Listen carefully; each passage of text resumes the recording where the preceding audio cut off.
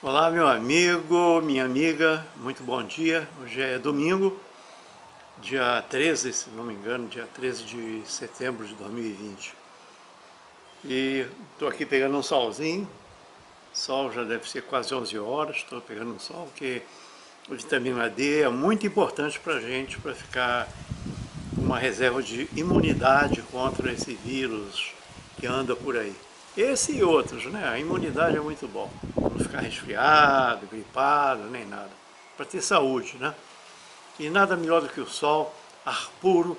Agora eu quero começar a temporada de praias.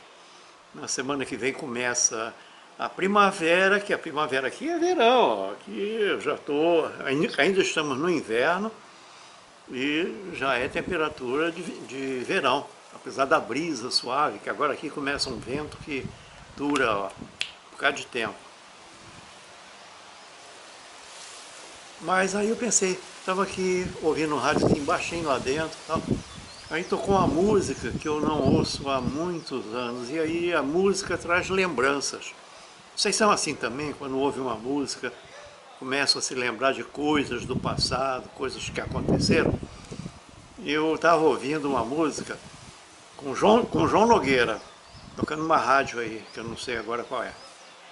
É eu sou o samba, a voz do morro sou eu mesmo, sim senhor. E aí eu disse, puxa vida, quanto tempo eu não ouço essa música. E aí veio a história. Antigamente, na rádio, na, nas rádios, né, que, que eram poucas, era Marinque Veiga, Nacional, é, sei lá, haviam programas interativos, a programação era todo, toda praticamente ao vivo, né? E havia um programa musical comandado pelo Lamartine Babo. Estou velho, hein?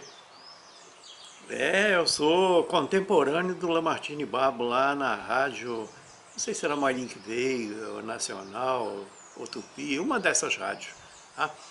E ele, no final do programa, ele fazia um concurso, ele tocava uma música e mandava a gente mandar uma cartinha para lá dizendo qual o nome da música. Quem acertasse concorria a um prêmio, né? Aí ele botou essa música. Eu sou o samba, a voz do morro, sou eu mesmo, sim senhor, que eu não vou cantar, porque senão entra em direitos autorais aí e tal. Bom, ah, eu sei, aí fiz 500 cartas. Eu sou o samba, eu sou o samba, Eu sou samba, eu sou samba. Mandei carta beça, que naquela época a gente tinha o hábito de mandar cartas, né? Para os programas até de televisão, com caixinha do Pudim Royal, né? Para o Boliche Royal da Lídia Matos e Murilo Neri. E então era, era uma diversão, a diversão nossa era ouvir rádio, assistir a TV Tupi, no único canal que havia, e interagir né, com esse pessoal todo, não tinha rede social, a nossa rede social era mandar carta pelo correio. Aí eu mandei aquele monte de carta. Ah, vou ganhar, essa aí não tem por onde, eu cerquei por tudo que é lado, né? Aí fiquei esperando o programa lá, ansioso no dia, né?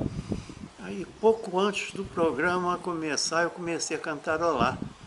Eu sou o samba, a voz do morro, a voz do morro, o nome da música não é Eu Sou o Samba é A Voz do Morro. Ai. Aí eu fiquei desolado, né? Esperando o programa começar para ver. Mas no programa começou, Lamartine Babo, olha, para aquele que mandou um monte de cartas dizendo que o nome da música é Eu Sou o Samba, errou. O nome da música é A Voz do Morro. Ligou, pô, sou eu. Pelo menos falou comigo, né? Mas eu fiquei muito chateado que deu um atestado de burrice. Porque naquela época eu era, era ainda, ainda sou, né? Mas agora com um pouco mais de, de desânimo. Mas eu era apaixonado pelo Rio de Janeiro. Era, eu só via filme nacional, era, só, só ouvia música brasileira, sou da época da Bossa Nova, né? e para mim era, era, era Rio de Janeiro e Rio de Janeiro, não, não tinha outra coisa. Tanto que meu site era Alma Carioca, e eu ainda tenho almacarioca.rio.br, rioantigo.rio.br. Quer dizer, é um amor eterno que não acaba muito, embora hoje eu tenha um apartamento no Rio, mas não moro no Rio. Moro pertinho, moro no estado do Rio, mas não no Rio de Janeiro. Muito bem. Então, esse foi o fato que eu gostaria de repartir com vocês da, da música A Voz do Morro.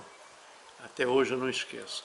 E tinha um filme também, não sei se foi Rio 40 Graus, que tinha batendo na caixa, plá, pli, pli, plaque, pli, pli, plaque. Eram os garotinhos é, engraxates, né? Que ganhavam a vida engraxando, tal. É, moravam no morro. Também eu vi várias vezes, adorava, curtia aquelas imagens do Rio de Janeiro. Eu sempre fui um apaixonado pelo Rio. Tá? Então é isso. Pena que o Rio de Janeiro está tão maltratado, né? mas não por culpa dos cariocas, né? por culpa dos governantes que acabaram com o Rio de Janeiro. Os governantes, que eu falo, é governadores e prefeitos, e deputados, é, vereadores, etc. Graças a Deus, vamos ver se agora, daqui para frente, 2021 em diante, as coisas começam a melhorar e o Rio de Janeiro volte a ser a cidade maravilhosa. Isso aí. Bom, bom domingo para vocês. Aproveitem, tá? E tchau, tchau.